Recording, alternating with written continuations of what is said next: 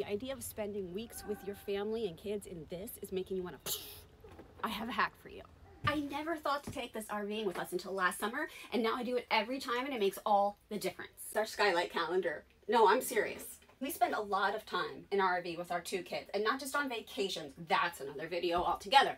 Sometimes we're still doing our regular routine with the sports and the working from home and the kids and the school and all of the things. We're in this tiny little space together, and we don't have our regular house and all of our regular things, and it's really hard to stay organized. And oh my God, I'm fine, I'm fine, I'm fine, I'm fine, because I have this. If you've been living under a rock and you don't know what this guy is, this is a skylight calendar and it is like a family hub. It syncs up with everybody's devices, everything's color coded, and it has your schedules, your to do lists, your shopping list, your dinner list, the weather. But meet my favorite feature the chore list. And it's not just for kids, it's really helpful for keeping your routine when you're not in your usual place.